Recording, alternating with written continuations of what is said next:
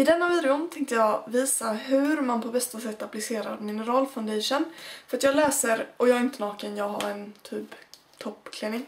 I alla fall. Åh! Louise. ja. Eh, ni får inte veta det pinsamma som stod här inne. Jag läser på väldigt många sidor att eh, folk upplever att mineralfoundation inte täcker så bra som de vill. Och det kan helt bero på vad man använder för borste. Och eh, borsten jag föredrar och så de flesta föredrar eh, till mineralfoundation, det är en kabuki-borste. Och min kommer från The Body Shop och jag tycker den är jätte, jättebra. Och eh, för att den är väldigt, väldigt kompakt så man kan få bra täckning men samtidigt är det den mjukaste borsten jag äger. Den är hur mjuk som helst. Och jag för mig den kostade 250 kronor på The Body Shop och eh, kabuki-borstar brukar kosta över 300 så en skitbra borste för ett bra pris. Mineralfoundationen som jag bara valde vilken som idag, det är eh, Wet n Wild Ultimate Minerals Ultimate Minerals Powder Foundation ja, Wet n Wilds Mineral Foundation. Och varför jag valde denna nu är för att jag vill te äh, testa den så mycket jag bara kan. Alltså jag ser naken ut, jag måste på mig någonting. Äh, I alla fall, äh, det är för att jag vill testa den så mycket jag kan så att jag kan skriva en review till er sen. För jag har använt den några gånger men jag kan inte riktigt säga vad jag tycker om den. Så ja, vänta lite. Så nu ser ni att jag inte är naken. Men i alla fall, nu börjar vi med det här. Med de flesta mineralfoundations ja, de brukar se ut så här. Så slår man ut lite grann i locket och man behöver faktiskt mycket, oj nu blev det för mycket. Man behöver faktiskt mycket mindre än man tror. Så som sagt, jag tyckte jag slog ut för mycket. Men så här mycket jag slår ut i locket. Så tar jag kabuki-borsten. Och snurrar runt här inne och trycker lite.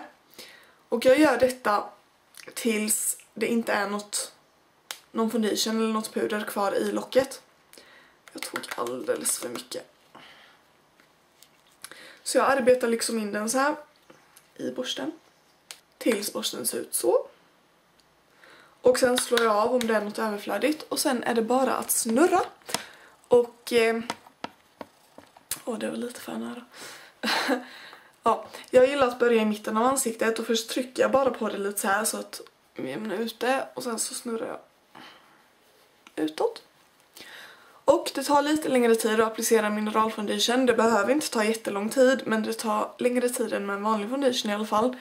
Men eh, det är just så att man fångar upp allting i borsten och sen så medan man snurrar så här så trillar det ut och kamnar och blandas in med huden. Så det krävs ju en hel del snurrande för att man ska få ut allt och för att få tillräckligt med täckning. Jag brukar ju, alltså jag brukar inte använda foundation men när jag gör det använder jag mineralfoundation för att jag gillar att jämna ut hudtonen och så men det ser naturligt ut och eh, det är mycket bättre fin än en vanlig foundation. Så jag bara snurrar och snurrar och snurrar. Och sen om man har snurrat ett tag och känner att det inte finns något i borsten mer fast man fortfarande vill ha mer täckning då gör man bara exakt samma sak. Bara att man behöver som sagt inte sådär mycket. Sådär lite. Så bara jobbar jag in det i borsten igen och så gör jag samma sak.